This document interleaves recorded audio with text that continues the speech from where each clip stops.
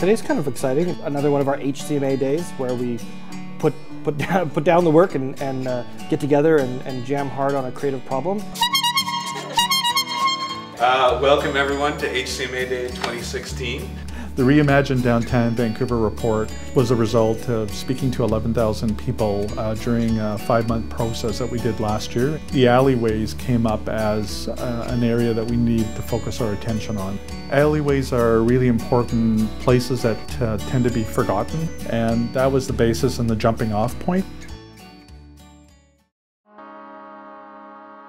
As we were planning the event, we started to try and tease out the kernels of really interesting ideas from that report and try to set ourselves up for activating the lanes with a totally different mindset. Um, so all of these ideas are kind of directly taken from the report and they're ones that allow us to think about the city in you know, really radical terms. For us, the, the intriguing part about these types of activities is it's deliberately outside the norm. And a big push in our practice is to take away the rigor that we normally apply to our processes and throw something in that's different.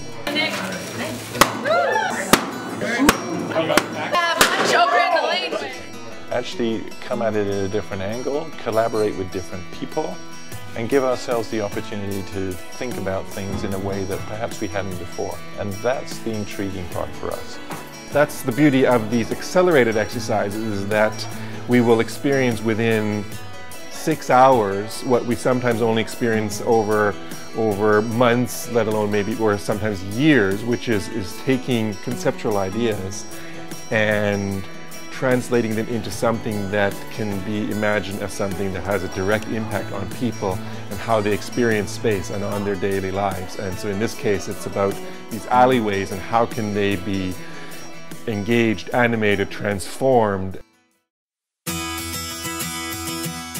It's really important to have these kinds of days, I think, because uh, when you take a step back and understand what you're doing minute to minute, which I think is city craft and city building, and a kind of calibration of sociality in our city, and to understand where things are headed and how we have an agency in that is critical. Now that the Reimagine Downtown Vancouver consultation process is over, as an organization, we're moving to the call to action and approaching key partners and stakeholders like HCMA to bring those ideas to realization. I was really impressed with uh, what I saw during HCMA Day and what appealed to us is that they have a track record of taking projects and asking the question, what's possible?